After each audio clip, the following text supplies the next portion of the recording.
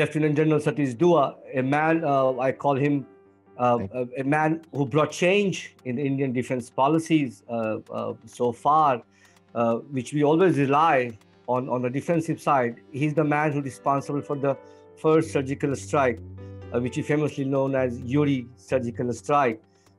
we crossed the border, we found the terrorists, we killed them, and this is how India has come up with forward policies which rightly fits into the ethos of Indian army. Uh, uh, the modern warfare is, is, is, is, not a traditional warfare. You know, it is asymmetrical, especially in the context of India. And we have two front, which everybody knows it's open two front. Situation is always precarious.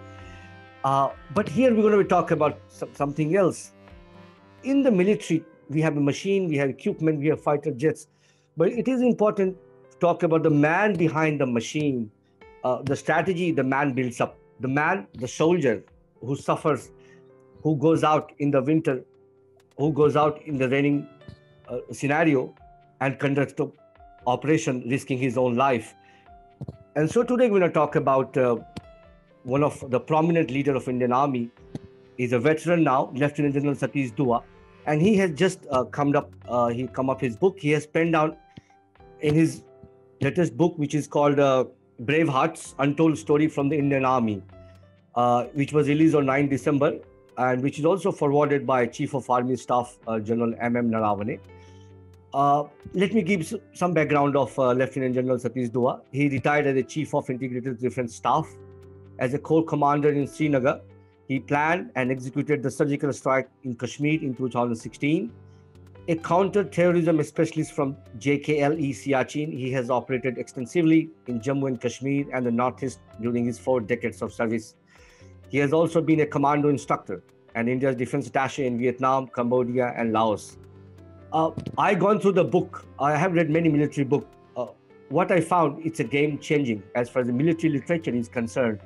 If I have to sum up before I begin the discussion with General Dua, book is straight as arrow I must point out about the book that it is so lucid that when words flow, you imagine a soldier that dark in dark night on his mission in Jammu and Kashmir. The literary accomplishment of General Satish Dua will surely make military stories an interesting genre for young Indian aspirants who anyway are looking for army or who want to know about army tradition, ethos, and values to pick up and read. Uh, General Dua, uh, uh, welcome again on BW Business World and Thank BW you. Defense. Uh, I begin my question uh, by reading a quote from your book. Uh, quote, but the scale of what happened on Saturday, Sunday, 18 September 2016, was huge. We lost 18 soldiers, 18 young lives lost, and it happened on my watch. As I got ready to go to the helipad, the cup of tea that I had started sleeping suddenly seemed tasteless. I, I left it and went out to the lawn just to be with myself before the chopper arrived. It was a bright, clear day, but for me, it was a dark. Sunday, the darkest ever. General Dua, tell us, was this moment of reckoning for Indian Army to move forward against the old established defensive posture so far? And that, of course, guided by our political leaders. Please. Um, I'll put it this way that for the past uh, three decades or more, Pakistan has been waging a proxy war by sending in terrorists as an instrument of state policy. And we have we, we've been suffering. All the measures that we've been able to take were either very defensive measures or at best there were some measures on the line of control the aggressive dynamics on the line of control but while they were able to push in terrorists incident after incident and then use a deniability card that though these these were not terrorists sent in by them. They would they would claim that these are your own kashmiri fighters. We had a pathankot attack that year uh, attack on the airbase at pathankot early that year. Then we had another attack when 66 hostages were taken in a six story building uh, outside of Srinagar. We had an attack on an army base in Tangdhar, in North Kashmir, in May. But when Uri attack took place, 18 soldiers lost. I think that was the last straw. We had to change our tactics. We came up with a bold plan that I think we need to do something to get away from this soft state tag that we have seemed to have acquired. And the government was bold enough to take ownership of this. And the difference here was in contrast to Pakistan's deniability, we took ownership. The next day, the DGMO called the Pakistan DGMO and said, We have done it. We've hit the terror camps across the LOC, and we have done it because you did Uri attack. We don't want to escalate it further. The ball is now in your court. We announced it to the world. And that was a very distinct shift in the way we've drawn our new red lines. And uh, soldiers like me are very happy that the country has taken such a bold step. General Dua, again, as I point out, you know, we, we often call ourselves an emerging nation, you know. It is not the quest for the power, but it is quest for the rightful place, you know, in, even in the subcontinent. Uh, India has, an Indian army basically has been known for the military operations as a peaceful army across the world you know much better you know we have conducted more peaceful operations through UN across the world than any other army in the world. I again like to point out the intensity of the situation, and and because it's a change, it's a historic change of our defense policies, uh, rightly so. Out of your book, and again I would like to quote: for years we have been taking a hit when they send in terrorists, and we are unable to react in kind. We will do something which will create that hurt them too. We will go across the LOC and hit the terrorist camp inside their territory. But please leave the choice of targets and timing to us. General Dua, I gone through the book, but I would like to know where did the decision to cross the line and uproot the terrorist camp come from? Is it Army, PMO, or MOD? The decisions are taken at the highest levels because this is a matter of crossing the a border with another country. True, LOC is an unresolved border, but if you are going to go into another country, we are obviously inviting consequences. And that is why the decisions have to be taken at the highest level. Army's job is to suggest possibilities and options, which we did. The Ministry of Defense, that is the minister, the defense minister himself, was present in the in my office he, he had landed up there on the day the Uri attack had taken place. And he gave us the go ahead. Either he already enjoyed the confidence of the leadership or they had a discussion or both. However, he gave us a free hand on operational matters like the targets to be chosen, like the dates to be, uh, the date when it is to be launched, and other tactical and operational matters. While that was our job, I am sure the decisions were taken at the highest level because it involved other countries. And like I said, there could have been very serious consequences for which the, not only the military, the whole nation had to be prepared, the country had to be ready. Uh, General Dua, I uh, I go back and recall uh, uh one of the interview and, and the moment of uh, Field Marshal Sam Manekshaw. I'll go back to 97 war which was a similar situation, say, in the scale was large, but on the question of crossing the border and, and you know and taking the rightful actions, it was decided that we have to mobilize, you know, the world community and sensitize about what we're going to do rightfully. Was there such concern, you know, in the in the in the political command uh, while you were the helm of the affairs, and and how do you think it they managed? So let me point out the similarities but first, the dissimilarities. The dissimilarity is that in 1971, we were looking at a conventional war between the two countries, out of which eventually a third country was born. Whereas in this case, we were we are looking at terror being used as an instrument of the state, and India said enough is enough. We will do something else. But what we did also was limited to a strike on the terror terrorist camps across the LOC. So that is where it is a little different. Where it is similar is in the fact that yes, we had to be prepared for consequences.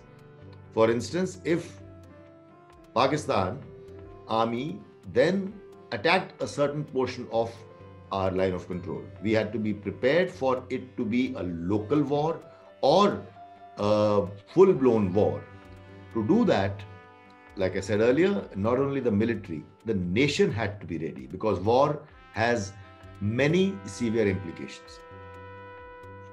Uh, General Dua, uh, I refer to a lot of military books, you know, so far, and of course, it talks about the struggle of soldiers and war. And when you go out in the field, it's a world of your own. Uh, but I read your book. Basically, it has a, it has a language, it has a humanity, you know, uh, human approach of of the army of the soldiers who there on the ground. Also, the different story you touch upon. Uh, I recall a story of a of a widow uh, in the area you were posted, and you went out of the way and and uh, sort of change her life. Uh, that's the contribution of army, unheard in any part of the world, basically having said that, what motivated you to write the book? It is a big, big moment of Uri surgical strike where you commanded, or, or, or your over your whole life experience as, as a leader, as a soldier. You wanted to represent the Indian Army and the and the soldiers involved there. What exactly motivated you? Uh, frankly, when I started writing, I started writing the human side, the human aspects of soldiering I wanted to write about the the perils and the difficulties faced by the soldiers on the line of control. I want to write not only about their triumphs, but also about their moments of weakness, their inner fears. Like I, I, I actually described uh, at, at places I've described my own thoughts as to what what how, how do we go about a thing like that, and then how how we found reassurance in the bonds of love and loyalty that soldiers uh, who live on operational areas get into.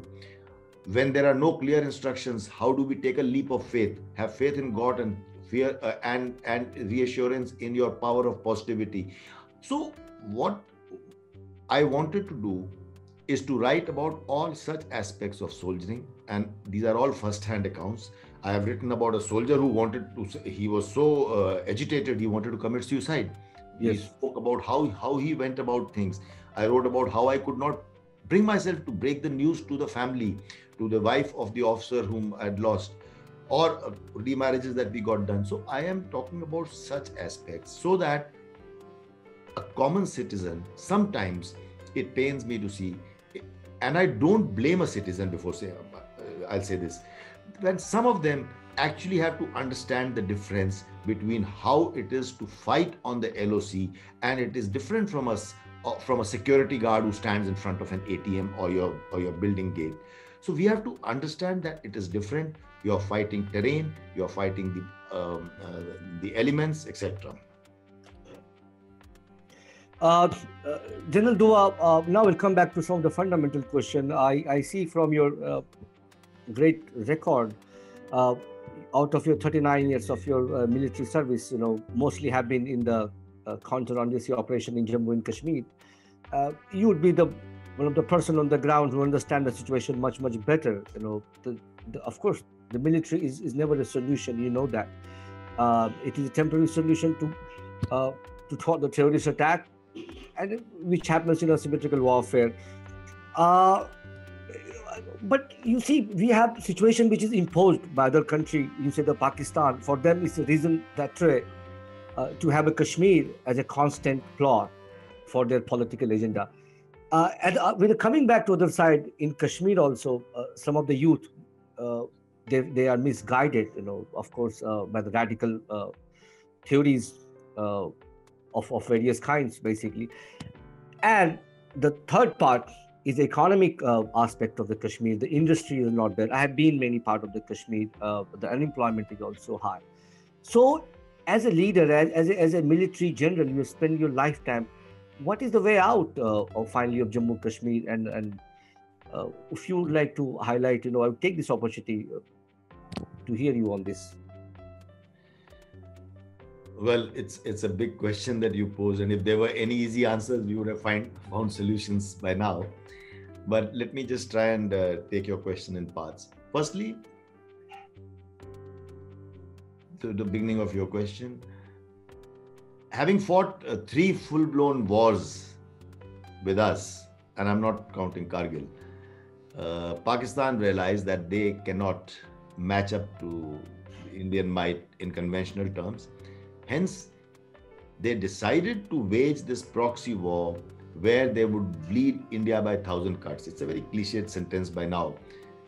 And uh, they started using terrorists. It, Kashmir later, but initially it started even in Punjab. And we know how Indian uh, army and police and all security forces put together controlled the situation over there. But you like like you rightly said, army is not a solution. We can just bring the violence level down. Whereas then the solution is political. And in Kashmir, they have been in J&K, they have been uh, giving moral support, financial support, ideological support uh, there to the public and to the misguided youth and have been drawing on their disgruntlement. What, what you said is solution. It's too early to say, but we the article, uh, abrogation or dilution of Article 370 is a bold step which is long overdue. With this kind of a thing, we will be able to ensure better administration. We will be able to ensure better development True, it will not happen in a hurry, and true, it will not be as smooth. But the process has already begun, and security forces controlling on one hand, and on the other hand, uh, finding a political situation, uh, I beg your pardon, a political solution with development and good administration thrown in. Uh, it is the way to go forward. It will take some time. It will take a long time, perhaps but it, I'm, I'm, it's heartening to see that the process has begun. Uh, General Dua, again, I take a cue from your book, uh, uh, which you talked about how terrorists infiltrated your camp, uh, uh, basically. Uh, and I'm sure I have been to army cantonment. It's a highly secured area. that bothers me about the sometimes, you know, there's a hole in our intelligence, you know, though. You also said a suicide a mission, you know, you cannot stop somebody who's who's ready to die and he's ready to damage uh, on his own cost. Uh, but that I again see uh, uh in the case of Kargil infiltration, we had the same intelligence, uh, you know, somehow the gap. recent Ladakh standoff also, we find somewhere down the line, we did not see the intelligence part, you know, doing the job as they should be. Uh, and you and you talked of the drones like UAV uh, in doing intelligence, surveillance, and reconnaissance operation. What is more required? You know, uh, whatever we have, of course, you know, it's not good enough, as you know that. What is required to make this more solid, our intelligence gathering, so that these kind of infiltration won't happen again? Uh, firstly, it will always be a, a sort of a running fight between both sides. Intelligence gathering and analysis is, is a very uh, is a very is a dynamic operation what is required is not one particular thing. That is we cannot rely totally on technological enablers like drones and other uh, satellite observation etc we cannot rely only on human intelligence which uh, has its own origins and its own uh, uh, strengths. We require a mix of everything. We also require synergy between intelligence agencies, military, and other state forces which which have such uh, which have access to such things. We must also remember that on the Pakistan side, more than the China side, it's a very porous border called the line of control. So there is another dynamics at play, and that is the human element what is required certainly is a more robust intelligence network but and and it does require uh, modernization of our uh, modernizations and use use of modern platforms and modern tools now today in today's world cyber warfare is becoming a very very important tool and an enabler and uh, we have to really uh, make sure that we use such technological enablers in addition to the human intelligence elements to the hilt. But as you can point, uh, pointed out, you know, we need these modern tools. Uh, but I also I see when we have a military doctrines, we, you know, we, our focus on, on big tank and, and brigades are, are, are, are going to be irrelevant. I won't say right away irrelevant, but very much down the line would be irrelevant because we have a symmetrical wall, especially in the context of India. You see the Kashmir for last uh, uh, uh two decades, it's a symmetrical wall. With the northeast, also in the Ladakh, we need that kind of equipment. We need more drones or, or such uh, UAVs or technology. Are we defining ourselves for the Indian Army towards such modernization, you know, uh, to get that capability, that equipment, or also train soldiers on the ground in that way, General Dua? Uh, you are right. We need more modernization, and for different reasons. And I would like, I would not like to expand the discussion now, but for different reasons, for a good about decade, our modernization was on hold that was whether it was to do with some a couple of uh, scandals and scams that had taken place, whether it was to do with some other apprehensions that, um, that the, there was the system had. But the fact remains, we have not been keeping pace with modernization for some time. In the last four or five years, efforts have been made. Some more money has been allocated. And uh, this got a bigger impetus first, uh, it, it, got a bigger impetus when uh, when we had this operations after Uri, because if if we expected that they, there would be consequences, and secondly, the bigger impetus came now this year when we had the standoff with China in Ladakh. So, with these two things happening, we are moving in that direction. But yes, modernization is the need of the hour because we have to keep pace uh, with the uh, contemporary developments in the world. Otherwise, uh, we will learn to our own peril. General Do, again, while talking about uh, on your book, uh, which is, I think, again, I saw your tweet. Uh, it is a Amazon top 10 bestseller. So congratulations for that. I, I, I do agree the kind of literary genre you're putting it. It's, it's a very approachable for the young uh, readers. Especially, I found it in a especially a new style of uh, military writing. You know, very impressive. Uh, but I will divert a bit. I would I would rather focus on your long-term 40 years of experience and and let viewers know about some of the critical questions.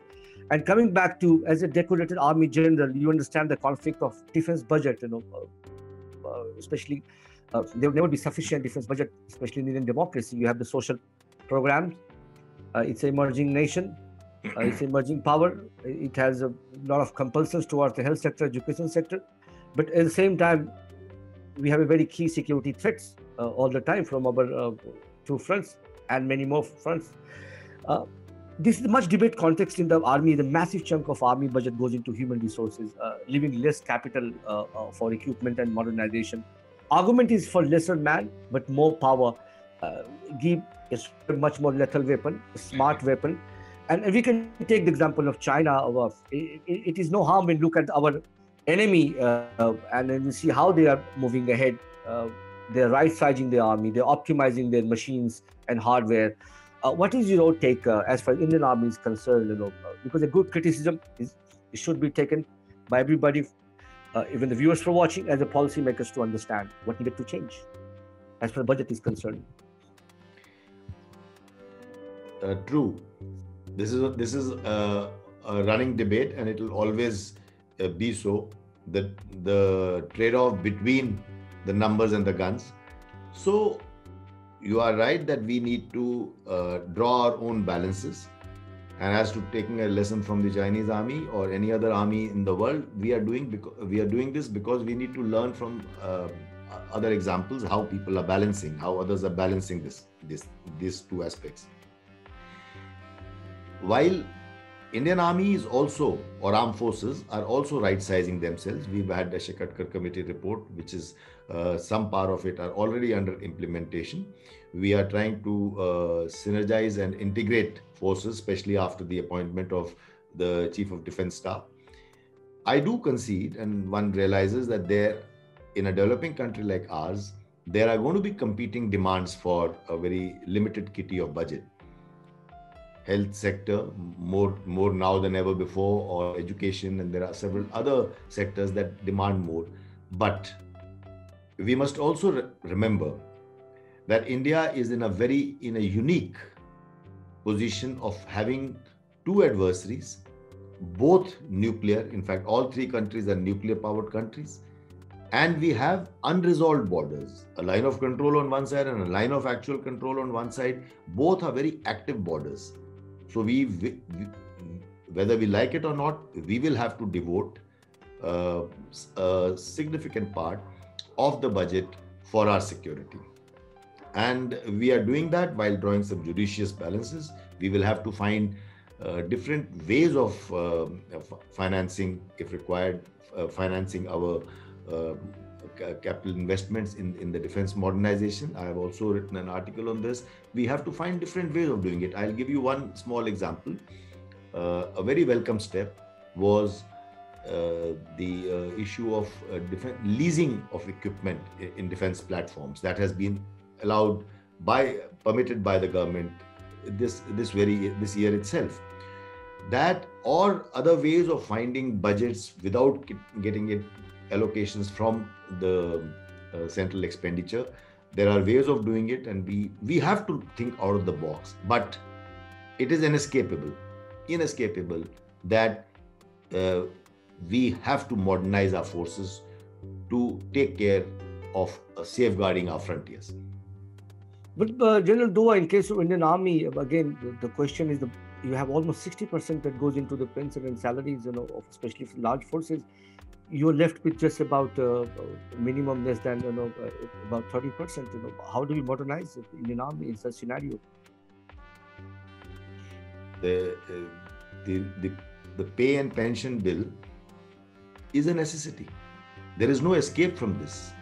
If you want uh, soldiers to risk their lives, this this is this is an expense that the state has to bear, and that is why I said for modernization, the for the capital outlays, there are alternative methods of financing on which some experts have written. I have also written an article on that. How we can use other ways of finding finances. Oh, I'm talking only of the for the modernization of budgets.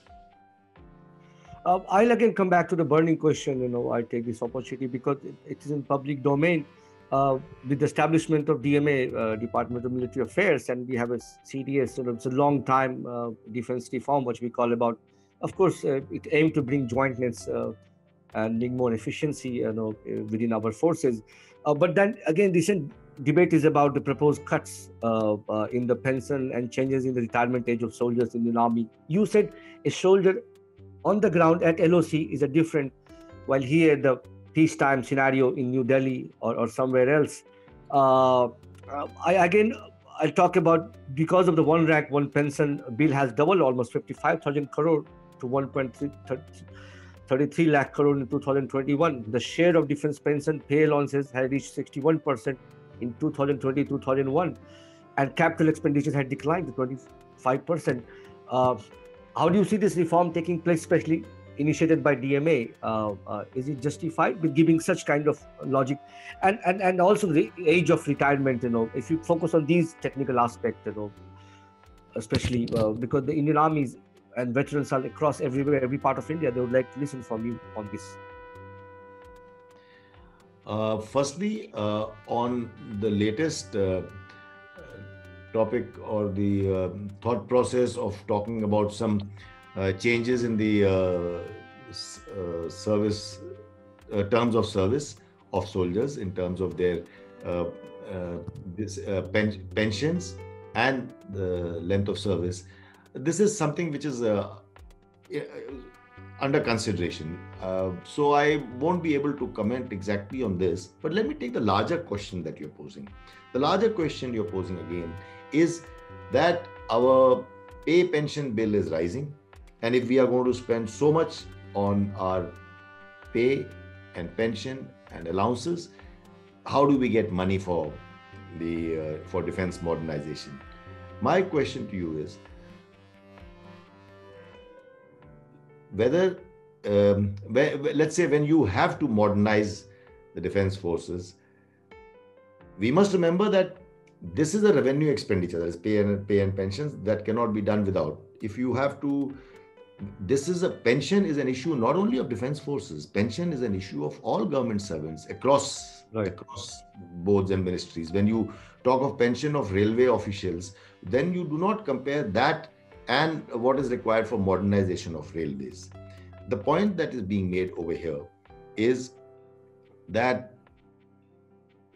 trying to say that pension and pay and allowance is the reason why we cannot modernize is a flawed argument. We have to find resources for both. I, I am conceding repeatedly that for a developing country it is difficult, but there is no escape. We will have to find resources. And that is where, uh, at the expense of reputation, we have to find alternate models of financing, and there are there are ways and means of doing that. We will have to resort to such means. Uh, General Dua, again, back to your book uh, uh, and then focusing on the Indian Army.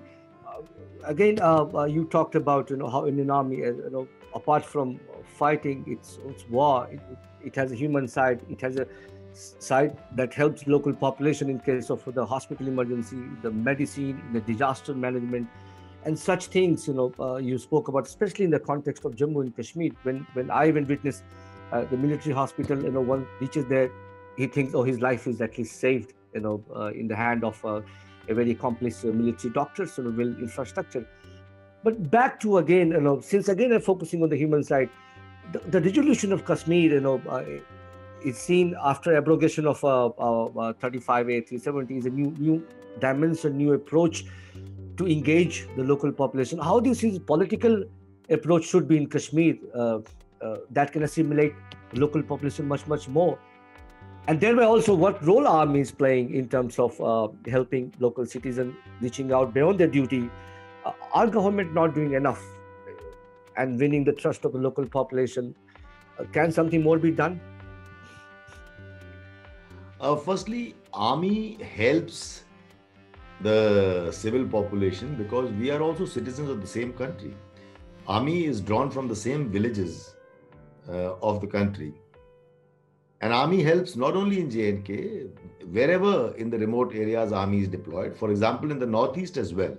It is just that in this book I have penned down my experience, which were more in J&K. So I am talking of Jammu and Kashmir. Uh, because we have presence for the reasons of security on the line of control or line of actual control on the other side, where district administration is unable to reach army presence is there. And because that presence is there we have our own infrastructure we have our own organization. And in times of needs any kind of a disaster any kind of a situation where we can help the locals army always reaches out. And the locals are always grateful for it. And we don't uh, i mean it's something it's a very human duty. Having said that one must realize that while army does this it is not army's duty and the state government and the administration cannot wash their hands off. They must realize that this is a bonus and they must continue to do, discharge their primary function. Today after abrogation i beg your pardon after dilution of article 370 there are uh, some changes that are coming in we know about the elections that have taken place, Panchayat earlier and the DDC elections now.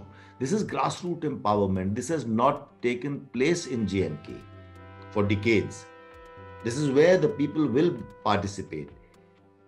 Uh, when we talk about industry, people there, when we speak to children, youngsters, true, there are many who are radicalized, but there are several who want to participate, who see development taking place in the rest of the country, rest of the world they want to participate, but they don't have opportunities. This, I think this morning only I saw a news where a firm from Abu Dhabi, if I have it correctly, uh, signed some contract with setting up some industry uh, in, uh, in in the fruit industry in the valley. If we start earlier, it wasn't possible because of Article 370. When you have such kind of investments coming in, government schemes alone won't do the trick. So we have such investment coming in when youth get uh, uh, openings and outlets for their aspirations to grow. I think this is the way the state will move forward along the rest of the country. And on the other hand, the government continuing to give uh, good support, backup, and ensuring that the administration is transparent and good and effective, uh, so that we pave the way for a political process as as early as possible. Uh, General Dua, you when you describe your uh, uh, uh surgical operation, you know, while crossing across the LOC, you talked about basically what I understand and people understand major role is army on the ground all the time in Jammu and Kashmir doing all this strategic operation basically. I would like to know, you know, and also on behalf of the viewers, what about other forces? Uh, what about the role of uh, Indian Air Forces, Indian Navy in such operation? How do they collaborate, or is just in army uh, going ahead, especially in Jammu and Kashmir, or, or did they have their role in, in, in, in the surgical strike? And what way, sir? Well, as far as the Indian Air Force is concerned, Indian Air Force is equally involved. The scale may be different because of necessity. Indian Air Force is equally involved in logistic and operational support on the line of control, in the Siachen Glacier, on the line of actual control, and everywhere. It is involved in intelligence gathering. It flies UAVs, it flies helicopters, it fly, fighters are ready uh, to be deployed. They are the reassurance that we need. And Indian Air Force and Indian Army are working with perfect synergy in, in the operational areas in JNK. So but as far as the surgical strike per se is concerned, we are talking of the 2016 operation when we did have a shallow incursion. At that time, Indian Air Force was not required to participate. We did not have to use aircrafts, but they were ready for CASEVAC. They were ready for even that consequences, the possibilities that we spoke of, that the country uh, and the Northern Command and the Indian Arm, Armed Forces were prepared for. So their involvement is complete to the extent that is required. Uh, also, let's also remember that a year and a half later, when uh, Pulwama attack took place, the strike inside Pakistan, much deeper, was by Air Force and totally by Air Force. It was a very precision airstrike again at a terrorist camp, but at Balakot, much deeper inside Pakistan, and only Air Force could do that. Army cannot go in, up to Balakot. And as far as Navy is concerned, well, out of necessity, this is not really Navy country, but we have the bravehearts from Marcos, the Marine Commandos, who operate in the water body of Wular Lake and some other adjoining areas. But we have a small presence, uh, and they've been operating there for, for years. Uh, General Dua, uh, when uh, you during uh, the strike, uh, our leadership from the Indian Army, the protocol general from the Indian Army informed the Pakistani counterpart on this. what was their reaction on this? which I again take a cue from your book. But the reaction part was missing.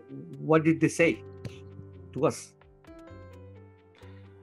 Well, frankly, as it is there in public domain, uh, that uh, Pakistan Army was firstly informed. Their DGMO was the Director General Military Operations was informed by our DGMO on a, by a phone call, taking ownership that we have done this operation in response to your uh, terrorist attack at Uri.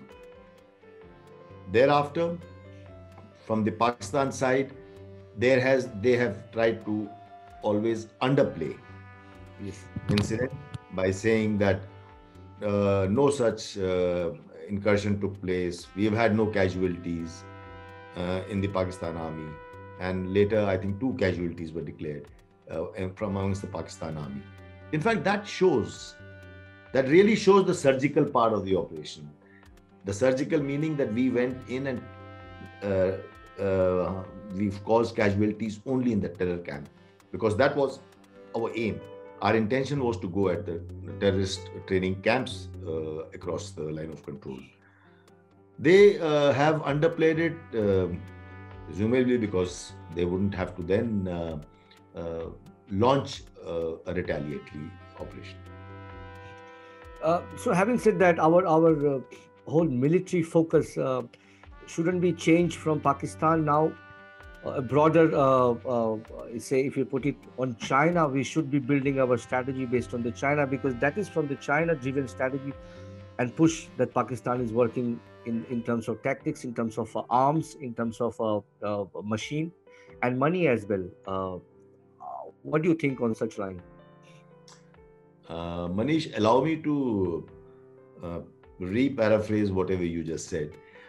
I I wouldn't say now we instead of Pakistan, we should look more at China. Let me put it this way that as far as Pakistan is concerned, they are using terrorists and we have a conventional superiority. When they started using terrorists, and we have now conducted two such operations, I am not saying it is going to stop anytime soon, but they are also aware that if they continue to use uh, terror as an instrument, they know that we will our red lines have been redrawn and we are going to launch or take some bold action when required.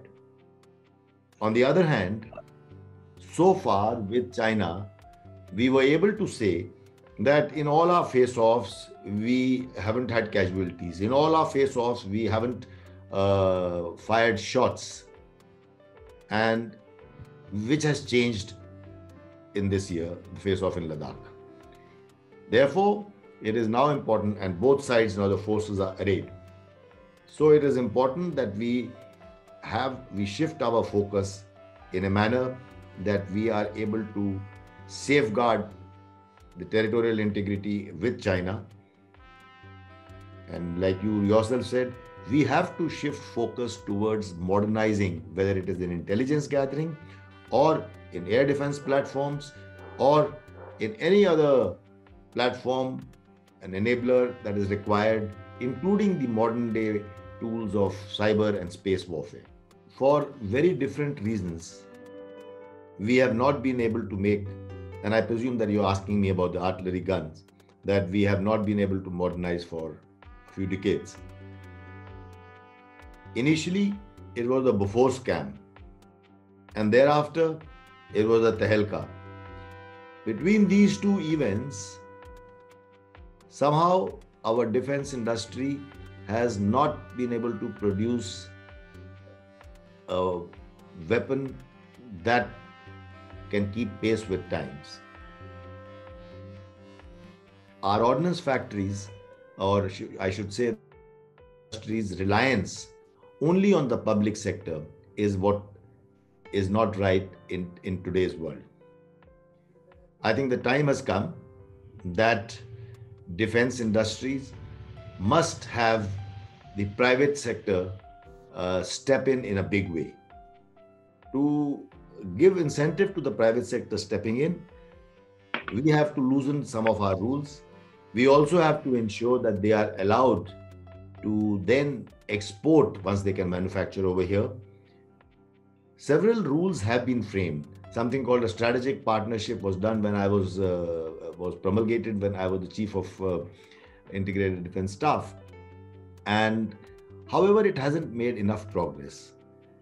What is really required in today's uh, age and time is to decontrol such uh, defense manufacture in a regulated manner, of course, that the private sector steps in it gets better technology and then from uh, defense majors across the world and then not only be able to meet our needs our defense forces needs but also be able to become a manufacturing hub we are moving in that direction but rather slowly so the last sentence i'd like to repeat it is time that ordnance factory boards are not functioning as a department which they are but start functioning as an industry, as a corporation with a profit and account, uh, profit and loss account book. To all those who wish to join the army, I would say welcome. We need enthusiastic soldiers like you. It is the youth that have always made us proud. Whether it is Kargil War or Kashmir, whether it was Captain Vikram Batra of the Dil Mange More fame, or it is Major Sudhir Walia, who got Ashok Chakra in Kashmir. I, I can take many, many more names. But you, the youth, are welcome to join the army. But remember, you don't have to join the army only to serve the nation. Because the growth story of India requires all of you in all fields whether it is the, the corporates, the lawyers, the industrialists, the software guys, the technical geeks, the doctors, everyone is required for the growth story of India. And you will take India forward. You will take the world forward. And if you want to respect a soldier, I see a lot of that sentiment now. If you want to respect a soldier, then be a citizen, be a good citizen, be a citizen worth dying for. Jai Hind.